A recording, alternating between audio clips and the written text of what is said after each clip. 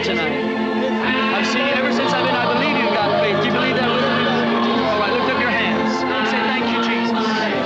Thank you, Jesus. Say it again. In the name of Jesus. Sister, tonight is going to be your night. God. Do it, do it. God is going to. You're spoiling the mood. you know, God is going to do something for you then I'll turn around to the crowd, and I'll say, everyone, do you believe it? And you know, everyone say yes, you know. I said, that's not enough. If there's no faith here tonight, I can't do anything. You've got to believe it. And I'll go, do you believe it? Again, then by this time the crowds go, yes. And I'll say, sister, as I lay my hands on you, it's going to happen.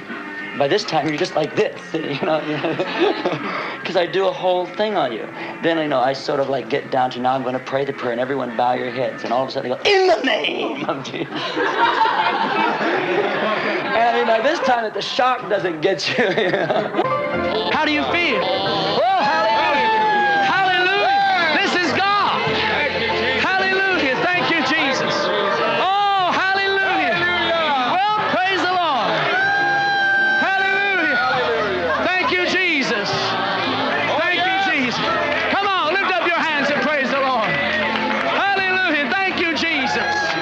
And then once you get one or two, once that you get one or two that really come off and say, yeah, I really felt that, you know, I had a bad back, I had a bad leg, then there's a whole slew that say, oh yeah, I feel better too, because like 90% of it's psychosomatic. I feel better.